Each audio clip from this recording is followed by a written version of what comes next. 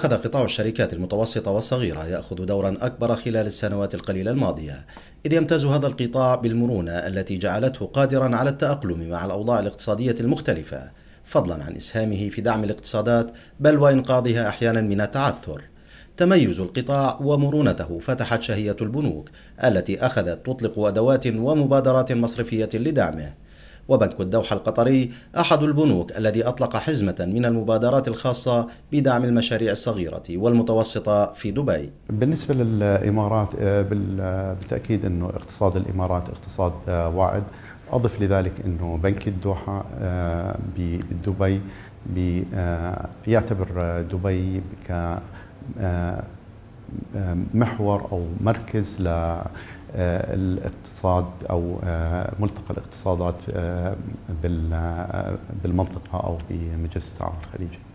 المبادرة التي لقيت ترحيبا وتشجيعا من حكومة دبي ومن الإمارات الأخرى ترى في تمويل المشاريع المتوسطة والصغيرة حلا لواحد من أهم التحديات التي تواجه القطاع ويشترط فيها البنك أن لا يقل عمر الشركة في السوق عن ثلاث سنوات وأن تكون موثقة ولكن ربما وهو الأهم أن يكون مجال عملها في أحد القطاعات الواعدة التي يتوقع نموها. والهدف وفقا لتصريحات البنك المساهمة في تطوير القطاع وزيادة قاعدة العملاء. ولتحقيق هذه الغاية فقد سخر المصرف 500 مليون درهم يصل سقف التمويل منها للشركة قبل التصنيف إلى 5 ملايين درهم. كحد أقصى آه، قبل ما أنه تصنف الشركة غير آه، صغيرة أو متوسطة الحجم هو لغاية 5 مليون طبعا بالنسبة للتمويل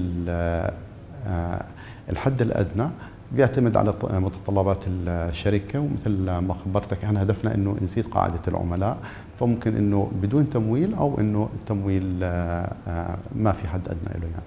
قرار اختيار الإمارات لتكون حاضنة المبادرة جاء على خلفية استحواذ القطاع على 95% من الشركات وبحجم عائدات يصل إلى نحو 250 مليون درهم. إضافة إلى أن فرع البنك يوجد في دبي التي يرى فيها كما يقول ملتقى الاقتصادات. إبراهيم الأمير الرؤية الاقتصادية دبي.